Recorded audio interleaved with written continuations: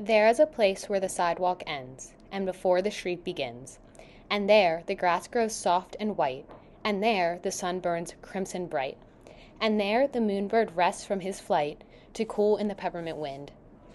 Let us leave this place where the smoke blows black, and the dark street winds and bends.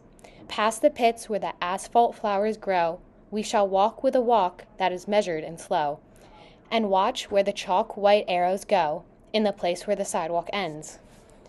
Yes, we'll walk with a walk that is measured and slow, and we'll go where the chalk white arrows go. For the children they mark, and the children they know the place where the sidewalk ends.